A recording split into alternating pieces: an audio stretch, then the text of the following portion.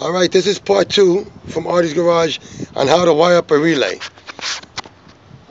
You need to purchase a harness. It comes with a harness and the relay, like I mounted right here. The top wire, the top wire run, needs a power. The right one needs a ground. The left one is the source in, the trigger, and the bottom goes to the source out. In this case, right to the headlights. So what you want to do is, you need to find out which is the power in on low beam. You need to cut it, like I did here.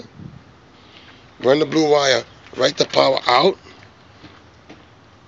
And the feed is coming from the headlight switch. I ground, you ground it out, like I did here. And the power, I got right from the battery. And I also put two fuse holders in there for extra protection. That's all you need to do. I'll prevent, I'll also show you a wiring diagram on part three. Thanks for watching.